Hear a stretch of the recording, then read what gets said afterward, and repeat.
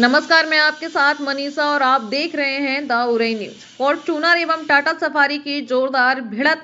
गाड़ी में सवार लोग बाल बाल बचे पूरी पूरा मामला चिरगांव झांसी से है, जहाँ चिरगांव बरल बाईपास संदीप होटल के पास गरोठा भाजपा विधायक जवाहर सिंह राजपूत अपनी फॉर्चूनर गाड़ी में सवार होकर झांसी से मौट की ओर जा रहे थे।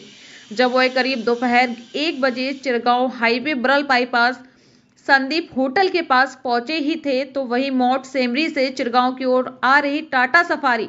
गाड़ी की चिरगांव अंदर प्रवेश करने से पूर्व ही जोरदार भिड़त हो गई, जिससे दोनों गाड़ी मौके पर बुरी तरह क्षतिग्रस्त हो गई। हालाँकि दोनों गाड़ियों में सवार लोगों को ज़्यादा गंभीर चोटें नहीं आई। फॉर्चूनर गाड़ी में सवार गरोठा विधायक जवाहर सिंह राजपूत जी भी हल्की चोटों के शिकार हो गए।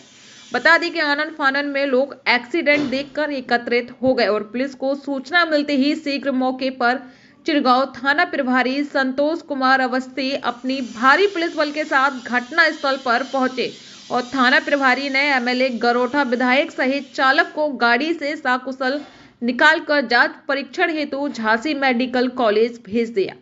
जानी जानकारी के अनुसार गरोठा विधायक जवाहर सिंह राजपूत झांसी से विकसित संकल्प यात्रा के तहत आयोजित होने जा रहे कार्यक्रम में गरोठा क्षेत्र के ग्राम अटरिया जा रहे थे।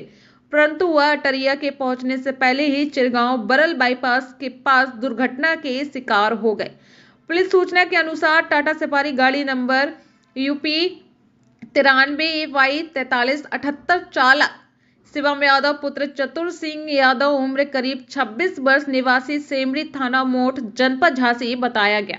जो कि सफारी गाड़ी में अकेला ही सवार था और वह अपने गाँव सेमरी से चिरगांव जा रहा था और वही दूसरी गाड़ी में भाजपा गरोठा विधायक अपनी फॉर्चूनर गाड़ी नंबर यूपी तिरानवे जेड डबल ज़ीरो छः ज़ीरो में सवार थे। अरे सर विधायक का एक्सीडेंट की चर्चा हुई है क्या हम झांसी जनपद में आज माननीय विधायक जी गरोटा अपना क्षेत्र में जा रहे थे चिरगांव थाना क्षेत्र अंतर्गत जो कानपुर का हाईवे है, उसमें उनका गाड़ी के सामने एक और सफारी, टाटा सफारी गाड़ी आ रही थी और दोनों का आमने सामने हल्का सा भिड़ंत हुआ है, जिसका वजह एयर बैग वगैरह खुल गया दोनों गाड़ी में और अभी दोनों, किसी को कोई चोट नहीं है।